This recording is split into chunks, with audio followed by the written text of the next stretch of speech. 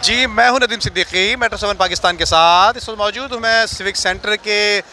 Main gate पे gate number चार पर जहाँ पर मैं आपको बताता चलूँ कि सिविक सेंटर में आज छः मार्च को आ, जो होने वाले इंतबात हैं और उस रेफरेंडम है। उस हवाले से मैं आपको बताऊँ कि यहाँ पर आ, इस वक्त जो है रेफरेंडम का सिलसिला जारी है और काफ़ी गहमा गहमी नज़र आ रही है। और यहाँ पर सोलह 2016 के बाद अब जो है या दोबारा अब रेफरेंडम हो रहे हैं, जिसमें चार पार्टियाँ हिस्सा ले रही हैं इसमें मैं आपके सामने, मेरे सामने नज़र आ रहा होगा आपको कि रेफरेंडम जो है इंतबी निशान शमा है के डी लेबर यूनियन का। इसी तरह से आपको चलता दिखाता हूँ कि यहाँ पर, दूसरी जानब जो कि सी बी ए रही है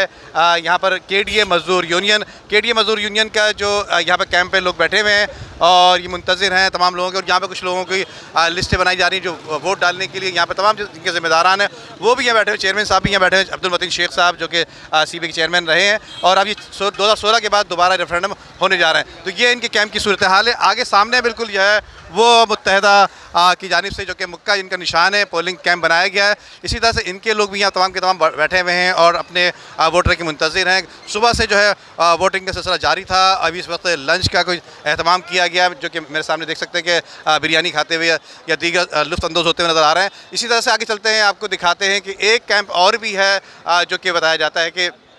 जिनका निशान जो है झंडा है और वो झंडे की तरफ़ आपको ले चलते हैं कि झंडा जो है यकीन उनका एक छोटा सा कैंप है। उनका कहना ये है कि हम अपने हकूक़ की खातिर जो है, वो लड़ते रहेंगे और जब तक ये जो है मज़दूरों के हकूक़ जो है नहीं मिल जाते। तो ये इनका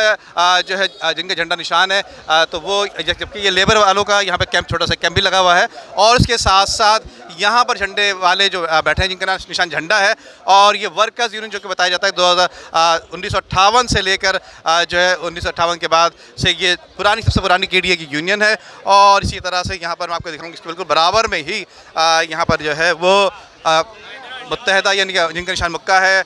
यूनाइटेड लेबर फेडरेशन के जेर अहतमाम के लिए एम्प्लॉज़ यूनियन का यहाँ एक और कैंप लगा हुआ है। ये मैं आपको दिखाऊँगा तमाम के तमाम ये लोग जो है वोटर के इंतज़ार में मुंतजर बैठे हुए और यहाँ पर लंच का यहाँ पर भी अहतमाम किया गया है। तो अब तक के लिए इतना ही, फिर मुलाकात करते हैं आपसे, फिर दिखाते हैं आपको यहाँ की सूरत हाल। जब तक के लिए इजाज़त दीजिए, नदीम सिद्दीकी और पूरी टीम को, अल्लाह हाफ़